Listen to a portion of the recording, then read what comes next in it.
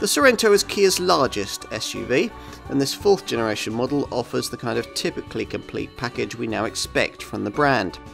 This enhanced design is embellished by electrified engine tech, smarter looks, and advanced media connectivity.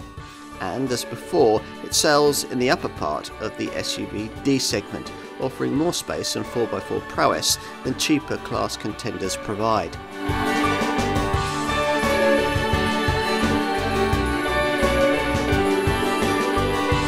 Let's say you want a decently sized SUV for family duties. It needs to be tough and practical, but also comfortable and plush. You'd like to reflect the current trend towards electrification. You require seven seats with a third row large enough to actually use, and a few extra touches of luxury wouldn't go amiss. Well, Kia claims what you need is this, their fourth generation Sorento, a model that they've fundamentally improved, as we're going to see in this film. Traditionally, Sorento values have been based on no-nonsense virtues like space, versatility and affordability. And that's certainly what characterised the first generation original BL series Sorento, which was launched back in 2002 with a crude old ladder frame chassis and a focus on off-road ability. It didn't make much sales headway because by the noughties, customer preferences when it came to large family-sized SUVs had changed quite a lot. Kia reflected these better with the design of the two subsequent Sorento models, the second generation XM series model of 2009 and this current car's direct predecessor, the third generation UM model of 2014, which both offered seven seats and switched to a more car-like monocoque chassis for better on-road drive dynamics both of which readied us for the big step forward in technology and price that characterises this much more sophisticated MQ4 series design, launched in 2020 and tasked with building on the 3 million sales already generated by this model line.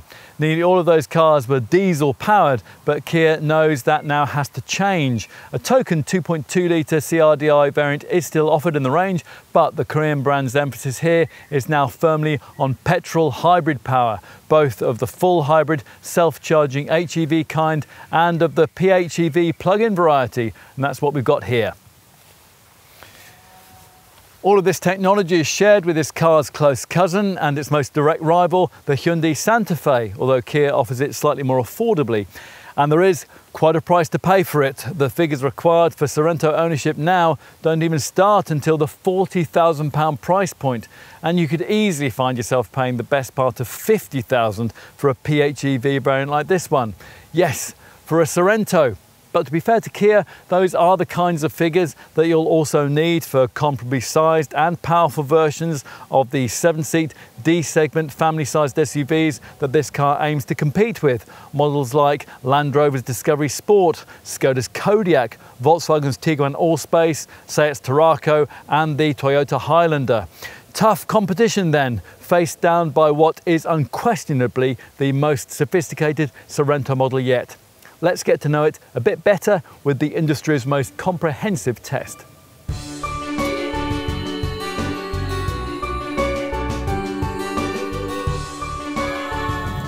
For us, it seems strange to be driving a Kia Sorento and not hearing a familiar diesel rumble from beneath the bonnet, and it will be for many customers of the previous generations of this car. A diesel can still be had here, the brand's familiar 2.2 litre CRDI unit, but the Korean maker wants to persuade you that a petrol hybrid engine is going forward a better solution, specifically a 1.6 litre sized one.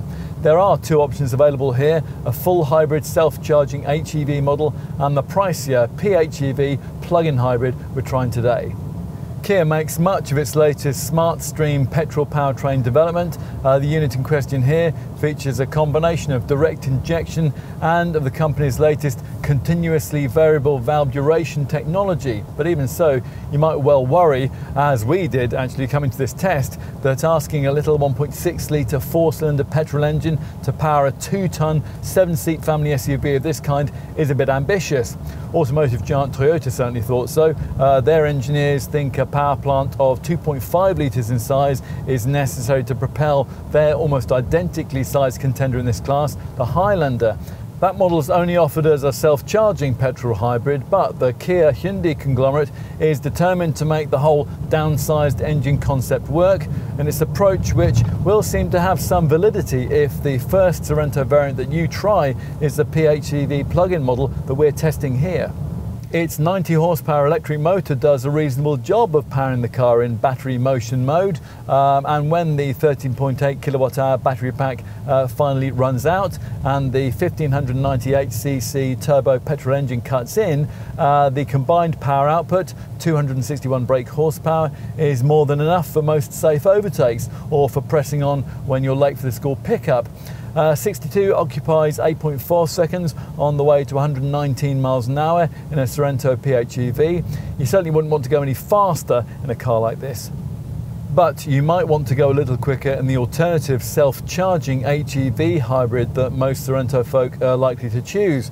Here the combined total motor and combustion performance figure falls to 226 horsepower and at times when the powertrain is relying primarily on the electric motor, it's sometimes evident, uh, particularly when you're fully loaded or on inclines, that its output, which is reduced in the HEV to just 59 brake horsepower, is a touch on the light side.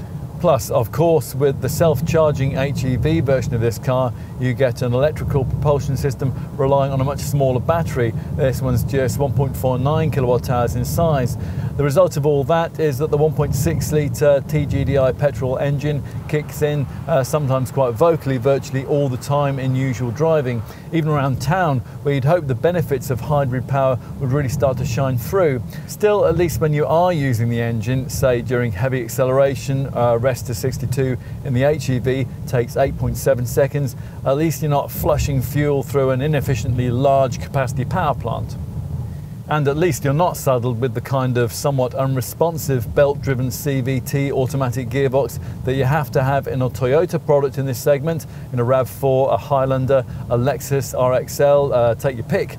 Uh, this Kia's six-speed auto is of the proper metal cogged variety, which means that you don't put your foot down and then wait until a rubber belt spools itself up to eventually obey your command. It's hardly lightning fast in its reactions though, which might occasionally make you want to use the provided steering wheel paddle shifters. And neither this transmission nor the uh, little 1.6 litre petrol engine are sufficiently well endowed to be able to facilitate the kind of properly high capacity braked towing weight that uh, quite a few customers actually in this segment are going to want. The Sorento HEV has a maximum braked trailer weight of 1650 kilos, which puts it at a significant disadvantage to its most direct HEV rival, the Toyota Highlander, which can tug along a couple of tons. Uh, with a Sorento PHEV, that figure falls to just 1500 kilos which is why you suspect uh, Kia has elected to incorporate a bit of old school tech into this Mark IV Sorento model's powertrain lineup and include the kind of old school diesel variant that its partner Hyundai hasn't bothered with for the equivalent Santa Fe SUV. The black pump fueled engine in question is basically the same 2.2 litre CRDI unit that powered all versions of the previous generation model. It works from an 8-speed DCT automatic gearbox and develops 199 brake horsepower, uh, which facilitates rest to 62 in 9.1 seconds and a top speed of 127 miles an hour. The key figure there though is the 440 newton meter torque output. That's about 25% more pulling power than the two hybrids can manage, which in turn gives you the kind of proper 2.5 ton towing capability that some customers in this segment believe an SUV of this kind should always have. Some of them believe an SUV of this kind should also have decent off-road ability too, and the Sorento has always provided at least a bit of that, although its credentials in that regard were somewhat eroded when the second generation model uh, switched from a traditional ladder frame chassis to more car-like monocoque underpinnings. This one retains a decent degree of off-piste stability and unlike its Hyundai Santa Fe cousin, can only be had with a four-wheel drive setup, uh, one incorporating three bespoke terrain drive modes, which you select from the center console dial here, snow, mud and sand.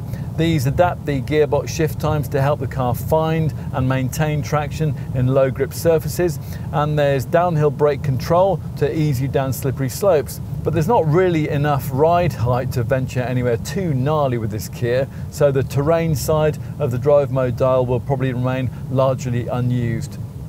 More everyday useful stuff comes with a push of the same dial, which clicks you into three separate tarmac drive modes, which alter steering feel, throttle response, and gear change timings, uh, but not ride quality because Kia hasn't bothered with adaptive damping for the multi link rear suspension setup. Uh, most of the time you'll leave the car in the smart setting, which is basically an auto mode which sorts everything out for you. There's also an eco mode and the sports setting too for when you want to push on, although you won't want to do that terribly often because at speed through tight turns there's quite a bit of roll, although body stability is better than that of the previous model thanks to this fourth generation car's stiffer and more rigid N3 platform. In situations of lateness, you might be more minded to exploit the benefits of this if there was a bit more traction from the Continental Eco Contact 6 tyres. As it is, the car tends to rely heavily on the electronic stability controls and the four-wheel drive system. Still, of much more interest to likely owners will be the fact that the suspension copes well uh, with tarmac tears and uneven surfaces. And of course, uh, the hybrid engines are decently quiet at a cruise, uh, which is when you might be interested to explore the advantages of Kia's latest highway driving assist system. This is standard beyond entry level trim and it's a tentative step towards autonomous driving. This works with the smart cruise control system to control steering, acceleration and deceleration in your lane while keeping a safe distance from the vehicle ahead and it will automatically control your speed according to prevailing limits. This is the sort of technology that once upon a time Sorento owners could only dream about Today, this car can take over driving duties in traffic, dip its own headlights, prompt you to stop when you're tired, and do just about everything else that a current day luxury saloon or estate could offer. Yet it remains an SUV that'll please those who've always liked the multifaceted, sensible attributes that this SUV model line can offer. Those folk will find a sizable step forward's been taken here. It'll be very interesting to see how many of them are prepared to pay the price for it.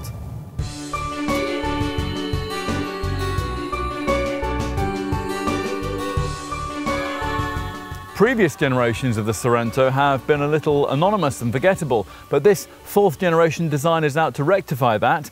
Kia needs a bolder, more aggressive styling theme for US and Asian markets who judge large SUVs on size and presence, and the company reckons Europeans are now ready for that too. It'll be interesting to see if the sensible folk who've previously favoured this model line share that conviction. This car certainly now makes more of an overtaking statement. Kia's familiar Tiger nose grille is here much wider and flanked by piercing LED headlamps featuring distinctive daytime running lights modelled apparently on a Tiger's eye line. If you can stretch further than this base two-spec model, then plusher trim levels feature further embellishment with LED indicators and a glossy grille finish. Uh, below this appendage sits a wide air intake with wing-like air curtains that channel airflow around the the car and a token silver skid plate further down seeks to emphasise this model's SUV credentials.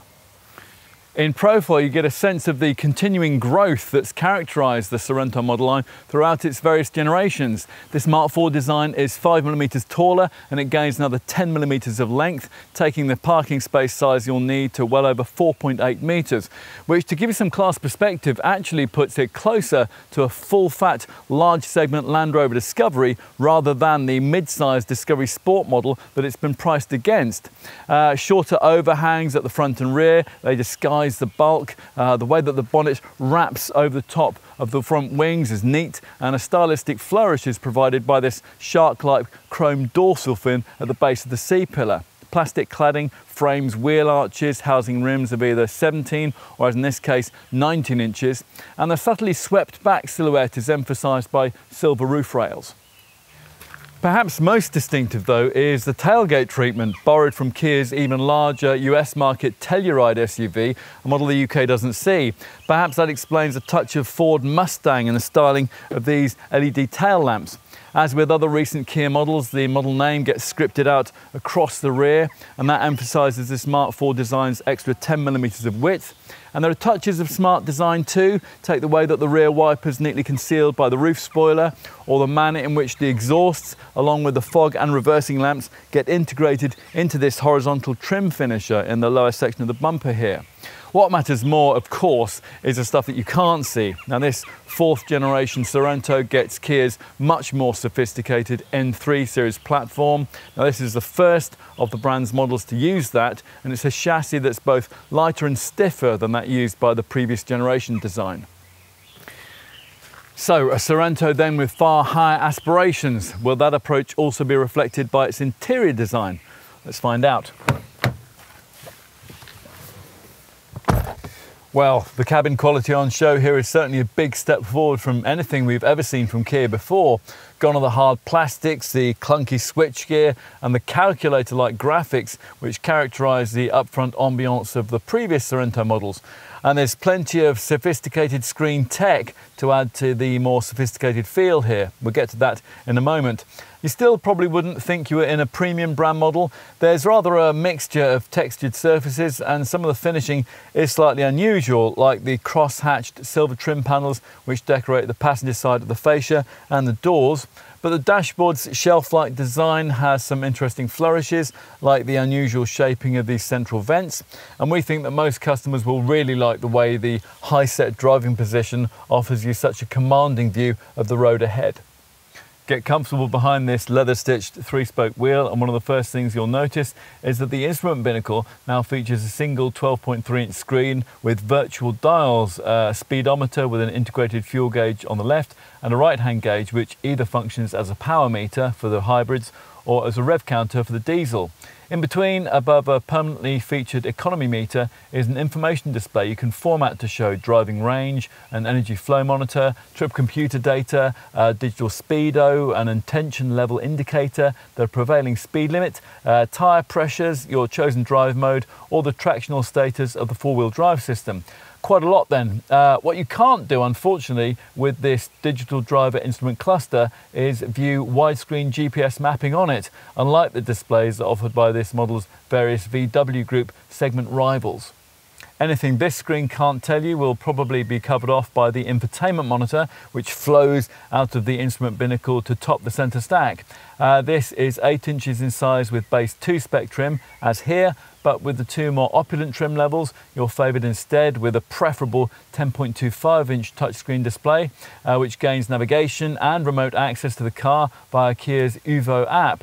Both screen options lack a voice recognition system and wireless connectivity for the incorporated Apple CarPlay and Android Auto smartphone integration system, but otherwise, most of the features that you want are present and correct, although the DAB audio system has only six speakers unless you stretch to the 12 speaker Bose setup that comes with top 4 spec trim. Uh, this touchscreen also includes a few extra elements you'll probably appreciate, uh, like a voice memo feature so you can record your thoughts as you drive, and a quiet mode too, which cuts off all the rear speakers and keeps the volume of the front ones down to a preset level. That's very handy for when children might be sleeping in the back, yet you don't want to miss that song or a bit of news that you were listening to. Uh, the hybrid variants also get a dedicated electrified section so you can monitor battery features too. What else? Uh, well, build quality. That seems solid, which to some extent makes up for the fact that some of the trimming doesn't seem particularly premium. Uh, the silver finishing around the air vents and on the doors lacks the kind of cool metallic feel you'd ideally want. There are also fewer physical buttons than you'll get in the rival Hyundai Santa Fe, which you might or might not think to be a good thing.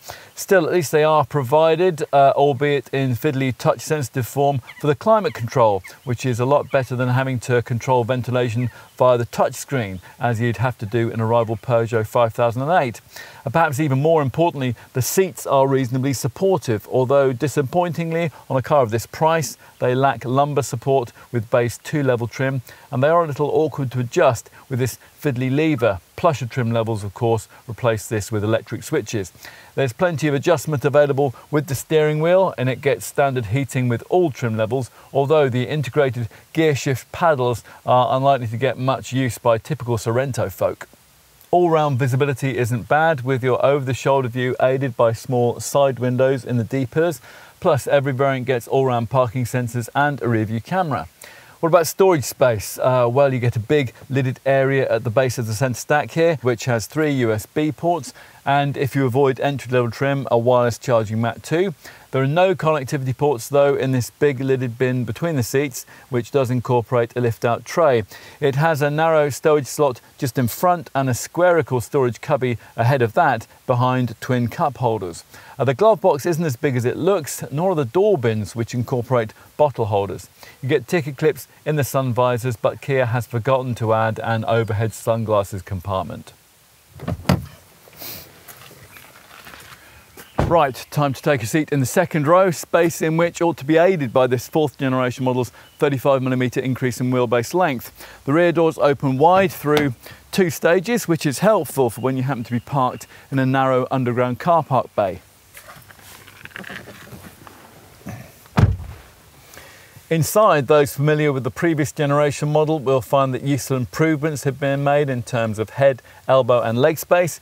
As usual in a seven-seat SUV, the bench slides back and forth and the backrest reclines, and that allows second row folk to prioritise either their legroom or that of those behind. Cut-out sections in the front seat backs encourage an element of generosity here, and the fact that the central transmission tunnel is so low makes accommodation of a third middle-seated person more realistic. Uh, twin central vents plus a 12 volt socket and a USB port sit just above. And rather brilliantly, there are USB ports built into the seat backs here, which would be useful for front or rear passengers. If there are just two of you, you'll be able to make use of this central armrest here with its incorporated cup holders. Another rather protruding cup holder sits in each door card. Uh, this panel also incorporates a bottle holder and deep recesses in each door pull. There are also netted seat back pockets and coat hooks in the grab handles. Right, time to take a look in the third row. Getting to the rearmost chairs in an SUV of this kind is usually somewhat awkward, but this Kia has one of the best seat sliding mechanisms that we've come across. Just press this button here on top of the seat shoulder and it springs forward and tilts itself out of the way.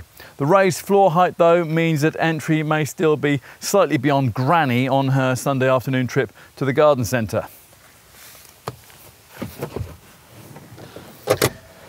That relatively high floor height means that, as with most cars in this class, you sit rather with your knees up towards the level of your stomach, but otherwise it is reasonably comfortable back here by class standards anyway, although adults won't obviously want to be confined here for too long.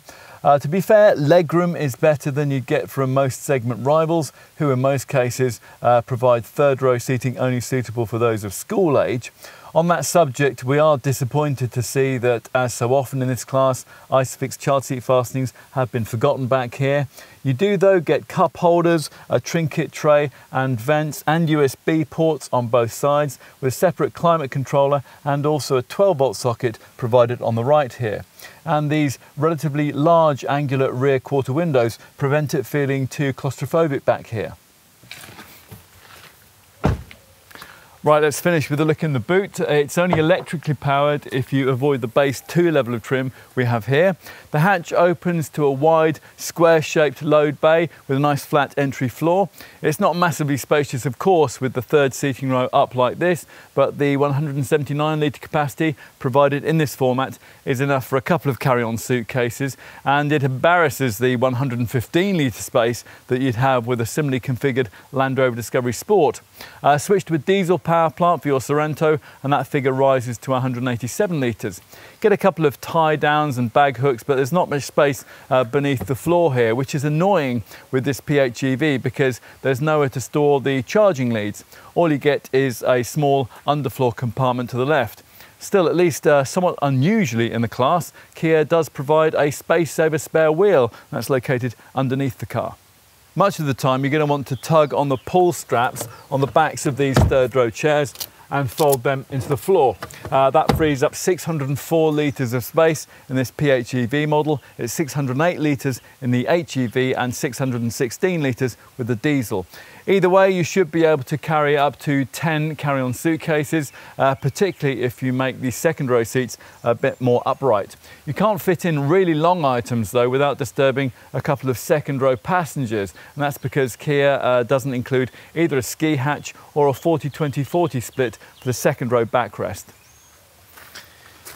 If you need more room, the second row seating can be folded from the boot area by these right-hand cargo sidewall buttons, although reinstating those chairs has to be done manually from the side doors in the usual way.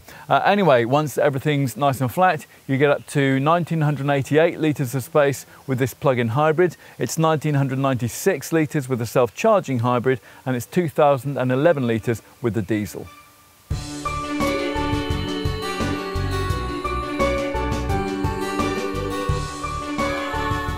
There's no mixing and matching this time around with the Sorento when it comes to seats and four-wheel drive options. All variants now get four-wheel drive and seven seats. Uh, yes, even this PHEV version. You'll find some rival plug-in SUVs lose their third seat row, so that's a plus here. But as we've remarked elsewhere in this film, the big step up in sophistication with this fourth generation model has been accompanied by a significant step up in pricing. At the time this test in summer 2021, the asking figures started at around £40,000 and ranged up to just below 55,000. Think in terms of a premium of around £10,000 over the previous model and you won't be far out.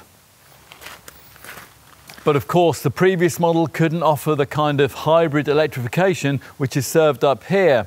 Uh, now, Kia expects most customers to want the 226 bhp HEV self-charging hybrid model that represents the most affordable choice in the range. Uh, that's because you'll need to add a premium to that of nearly £6,000 to get the more powerful 261 bhp PHEV plug-in model we're trying here, priced from launch from around £45,000. Both the hybrids can be had with all three core trim levels, 2 spec, uh, that's the one we got here, and then mid-range 3 trim and top 4 spec. If you're interested in mid-range uh, 3 spec, then your dealer will offer you the chance to turn back the clock and to have a diesel engine, a 2.2 litre CRDI unit with 199 bhp. That, at the time of this test, cost around £42,000 and would save you around £1,500 over the equivalent HEV hybrid variant. The diesel swaps the six-speed auto gearbox used by the hybrids for eight-speed DCT automatic transmission. As has always been the case throughout the history of this model lineup, pretty much all the same engineering is also offered by Kia's partner Hyundai in their very similar Santa Fe model. Now this shares the Sorento's platform and hybrid drivetrains, but no longer bothers to offer a diesel option. Uh, the other tangible difference between these two Korean models is that the Santa Fe can be had in two-wheel drive form, yet even in that base guise, it's still a thousand pounds pricier than a base two-spec four-wheel drive Sorento. Uh, Santa Fe in four-wheel drive guise start at around £42,000 at the time this test, and that splits the Sorento's level 2 and level 3 spec options in terms of price. Ah yes, price. Did you ever think that a Sorento might cost you the same as a Land Rover Discovery Sport? Well, it does now, at least on the face of things. Uh, that Solihull model also offers seating for seven, and it can also be had in PHEV form, but its core power plant uses less efficient mild hybrid technology, and most mainstream variants are diesels, so your running costs for a Disco are going to be higher. Price-wise, the Sorento certainly appears to go head-to-head -head with the Land Rover, with most typical Discovery Sports selling in the 40 to 50,000 pound bracket, but you'll need to be budgeting right at the very top end of that bracket for a PHEV engine Discovery Sport, which makes the Land Rover significantly pricier than a PHEV Sorento. Kia isn't alone in chasing that Land Rover model in this class. The Volkswagen Group fields three similarly engineered, family-sized seven-seat SUV models, all recently revised. There's the Volkswagen Tiguan Allspace, the Seat Tarraco and the Skoda Kodiaq. At first glance, uh, this trio all looks significantly cheaper than this Kia, but that's because entry-level versions get feebler engines than this Sorento uses. With a comparably powerful 200 PS diesel of the sort used in this Kia, a Kodiaq or a Tarraco might save you two to three thousand pounds. Tiguan Allspace rather less than that but the difference would probably narrow a great deal if you equalised spec to Kia levels. With the Volkswagen, uh, the Seat and the Skoda, there's no full hybrid petrol option to rival a Sorento HEV. And although you can get PHEV versions of the Tiguan Allspace and of the Tarraco, those variants are difficult to compare to a slightly pricier PHEV Sorento like this one because A, they're less powerful and perhaps more significantly, B, they can't be had with the third seating row that you can get with the plug-in version of this Kia. In the seven-seat SUV D segment, you might want to consider the Peugeot 5008, which is cheaper than this Kia, but at the time of this test, Peugeot wasn't offering that car with any hybrid powertrains, and it also lacks any kind of four-wheel drive system. A tough go anywhere four wheel drive setup is a calling card of the budget choice in this segment. That's the SsangYong Rexton. Uh, it certainly matches this Kia for physical stature and it does offer impressive towing capability, but there's no kind of engine electrification at all on offer and a relatively inefficient diesel power plant up front. If you're looking at a top-end version of the HEV Sorento variant and you can afford a little more, then much the same kind of self-charging hybrid recipe can be served up by the Toyota Highlander, which has a similar but bigger capacity power plant but all those costs from around, uh, well, just over £50,000. And by the time uh, you're paying that kind of money, well, you could be looking at uh, base versions of fractionally larger premium badged models in this sector. I'm talking about models like the Volvo XC90, the Audi Q7, and the full-sized Land Rover Discovery. You would have to compromise on engine electrification to choose one of those though. Uh, these models only come with mild hybrid tech in their most affordable forms, uh, which is, well, nothing like as efficient as the fully electrified engineering that you get in a petrol Sorento. If having considered all that, you conclude it is a Sorento that takes your interest, then you're going to need to know just how generous Kia is being here with the standard specification. So let's take a look at that now. Uh, as well as all the features that we've already mentioned, four-wheel drive, seven seats and automatic transmission, all models include LED headlights, roof rails, rain sensing front wipers, electrically folding exterior mirrors, uh, smart cruise control with stop and go functionality and Kia's terrain mode select driving mode system. Plus, there's a wide range of camera safety features that we're going to brief you on in just a moment. Standard cabin items include a 12.3 inch digital instrumentation cluster screen, heat for the front seats and also for the steering wheel, and dual zone climate control with air conditioning too for the third row of seats. Plus there's an auto dimming rear view mirror and also a reversing camera which will assist the all-round parking sensors. Features specific to the base 2 grade of trim include 17 inch alloy wheels, although you get 19 inch wheels with the PHEV drivetrain. Inside with 2 spec there's Kia's smaller 8 inch central infotainment touchscreen which lacks navigation but which does include Apple CarPlay and Android Auto smartphone mirroring along with a 6 speaker DAB audio system. You're probably though going to want to start your Sorento search with mid-range three spec trim. Indeed, as I mentioned earlier, if you want the diesel engine, that's what you're going to have to have. A Sorento 3 uh, offers you a few more of the niceties that you'd ideally want at this kind of price point. Uh, things like black leather upholstery, eight-way electrically adjustable front seats, uh, heating for the outer two seats in the second row there, a wireless phone charger, a glossy black center console, metal door scuff plates, and a power-operated tailgate. At this level in the range too, you also get uh, Kia's larger 10.25 inch center touchscreen. Uh, that is now complete with satellite navigation and Kia's Uvo Connect app system. Now this allows remote connection to the car and that's so you can send route instructions to the sat-nav system, you can lock or unlock the car and you can tailor your own driver settings all from the convenience of your laptop or your smartphone. Uh, 3 Spec also gives you you rear self-leveling suspension and also Kia's semi-autonomous drive system. That's highway driving assist, uh, which I'm going to brief you on in a moment. Top 4 spec will bring even more luxuries with softer Nappa leather upholstery, more power adjustment for the driver's seat, along with a memory function and cooled ventilation. Plus you get some extra camera safety features, plus metal pedals, a panoramic glass sunroof with an electric roller blind and a Bose premium sound system with 12 speakers. Unlike many of its rivals, Kia doesn't offer a huge range of options, but you will probably have to pay more for your chosen paint colour because the only standard shade is Essence Brown. Other colours are like this test car's mineral blue finish, sit in the brand's extra cost premium paint range. Uh, you can add some practical extras though, things like roof bars, which will allow you to add a roof box, a bike carrier, or carriers for skis and snowboards. You can also add a retractable tow bar, of course, and side steps to help entry and exit. For the cargo area, there's a boot liner, there's a bumper sill cover, and a dog guard. A finishing touch might be the stainless steel finish for the door mirror caps. Onto safety. As you'd expect, there's a decent package of camera safety kit, starting with the usual autonomous braking system. Uh, Kia's is called Forward Collision Avoidance Assist, a setup that detects pedestrians, cyclists and other vehicles in close proximity and also oncoming traffic when you're making a turn at a junction. Uh, there's also lane keeping assist, which applies subtle steering lock if you drift out of lane. High beam assist headlights, uh, which automatically dip themselves at night.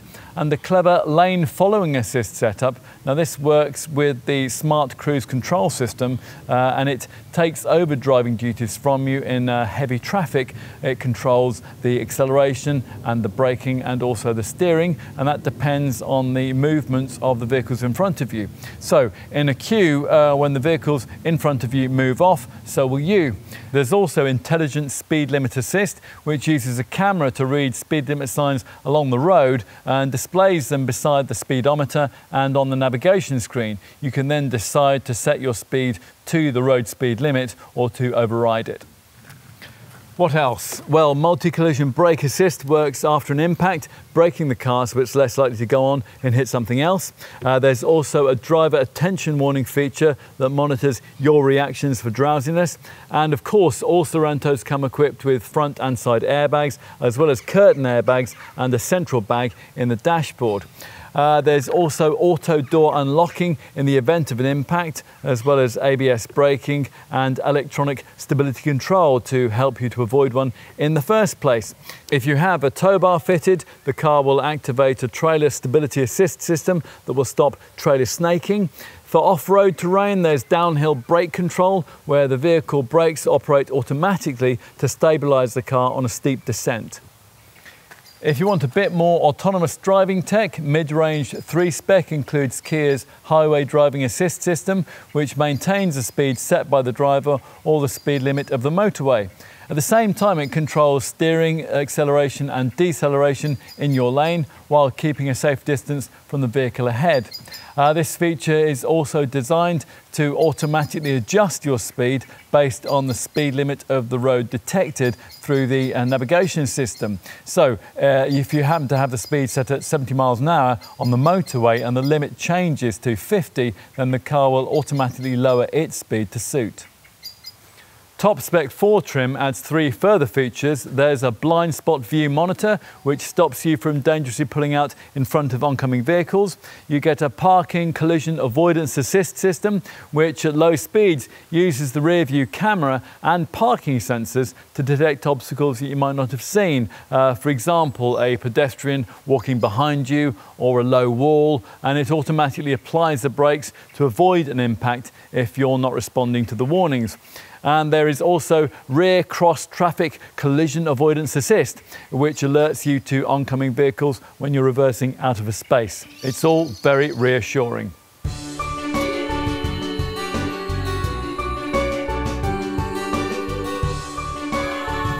With previous generation versions of this car, no typical Sorento customer would have even considered choosing one with a petrol engine, much less one just 1.6 litres in size. Yet with diesel fuel falling out of favour, that's exactly what Kia is now asking its customers to do. Uh, thankfully, the inclusion of a turbocharger and quite a bit of hybrid electrification helped the transition. We covered just how much electrification you get in our driving experience section, uh, quite a bit it turns out, and a lot more than is offered by the so-called mild hybrids offered in this segment by brands like Land Rover, uh, engines which can't ever independently drive the car on battery power alone. The HEV self-charging unit fitted to the hybrid petrol model that Kia expects most Sorento customers to choose can certainly do that, although not for very long thanks to the combination of a 2-ton curb weight, a relatively feeble 59 brake horsepower electric motor and the small size of the 1.49 kilowatt hour lithium ion polymer battery pack that powers it. Still, the HEV model's 40.9 miles per gallon combined cycle fuel showing is pretty much the same as you'd get from an equivalently powerful diesel version of a rival, even as in the case of a Land Rover Discovery Sport, a mild hybrid embellished one. The self-charging Sorento model's 158 grams per kilometre CO2 reading matches those black pump fueled SUV rivals too, and you'll be running on cheaper fuel, so it's all good but not quite as good, of course, as the readings that you'll get if you stump up the considerable amount extra that Kia wants for the PHEV plug-in version of this model that we're trying today. As we said in our driving section, the fact that you get a larger 90 brake horsepower electric motor powered by a considerably larger 13.8 kilowatt hour battery makes all the difference. It gives you the usual PHEV three figure combined economy reading, in this case 176.6 mpg, and an Enviro conscious CO2 figure of just 38 grams per kilometre. That in turn makes possible a super low benefit in kind taxation rating of just 11%. The HEV self-charging hybrid version can't get anywhere near that. It's rated at 35% or 37% with top spec 4 trim. At the time of this test in summer 2021, for a 20% taxpayer, the BIK tax bill for a Sorento HEV with mainstream 2 or 3 spec trim was roughly £2,700 or £227 a month.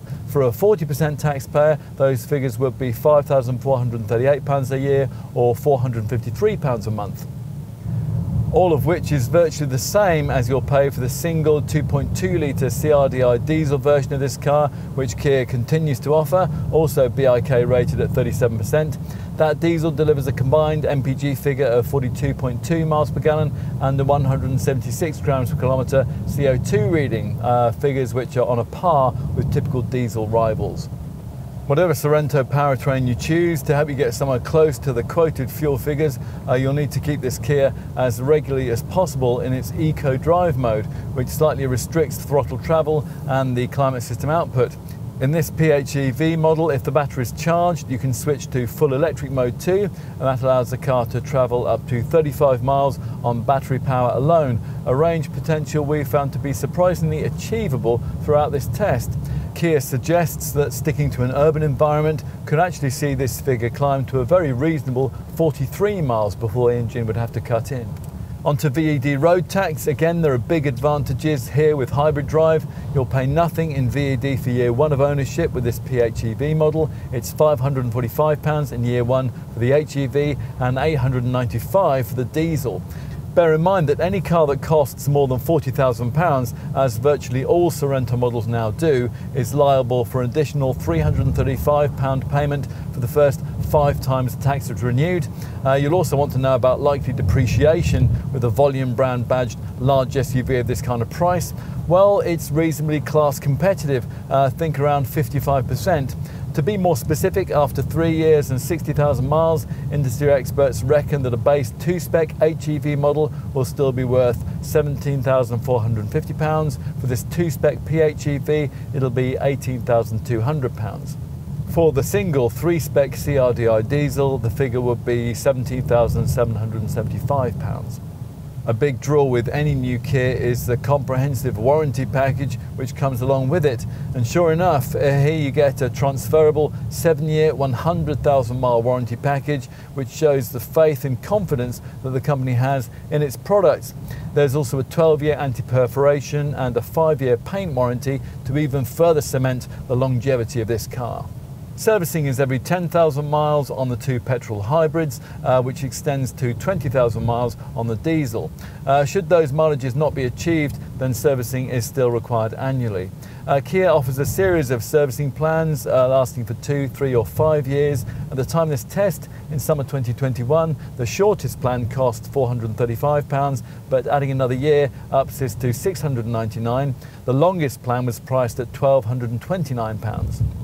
Whether you opt for those packages or not, uh, you'll benefit from the Kia Promise, which, uh, alongside the warranty package, also includes convenient online service booking, uh, accident care, and the highest level of RAC roadside assistance, which includes onward travel and European cover too.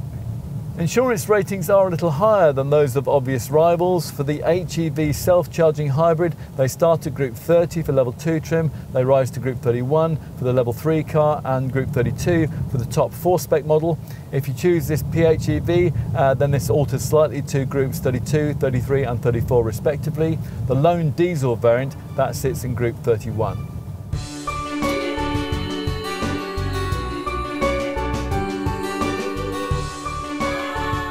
This fourth generation Sorento tells us a lot about the way that Kia is developing as a brand. It undercuts its Hyundai Santa Fe stablemate on price and its extra polish and cleverness now make choosing this car a more credible option for buyers who simply don't need the dynamic advantages on offer from the much pricier Land Rover and German branded models that you might be tempted by in this segment. This fourth generation design is more confident in almost every way than anything we've previously seen from this model line, whether you consider technology, pricing, or the bold styling statement it makes. Couple that with a family-friendly interior, drivetrains that are perfect for the more considerate climate that we find ourselves in, and an air of quality that's usually associated more with uh, European familiar badges, and you could well conclude, as we have, that this car makes a good case for itself not least because it's one of the only contenders in this class which offers a choice of either a self-charging HEV full hybrid, a plug-in PHEV hybrid or a more traditional turbo diesel powertrain. So the appeal here is potentially broader than anything Kia has provided in this segment before. But is it all enough to justify the much larger price tags that the brand's asking for here? That's a much more difficult question to answer, and it's one you'll need to consider against the backdrop of the significant steps forward in quality, style, and technology that have been achieved here. For some, all of this still won't be enough to keep this car in the frame against rivals with more established badge work, but uh, those cars may well cost you quite a lot more when you come to compare like with like. And when you've lived with a Sorento for a little while, as we have on this test, you might well end up concluding that rivals don't really offer very much more for the money. Some of them do tow a lot better though, and that is a drawback of the relatively small capacity 1.6 litre engine that Kia uses for its hybrids. Still, the diesel variant does remain on offer if that's a key requirement for you. And in summary, while well, those familiar with the Amalfi Coast might still feel the Sorento to be lacking an R, a glance at the spec sheet doesn't immediately suggest it's lacking very much else. In short then, for all kinds of reasons, we think this is now a contender that you'd like rather than merely one that it would be very handy to have. The kind of SUV that might surprise you, as increasingly modern Kias tend to do.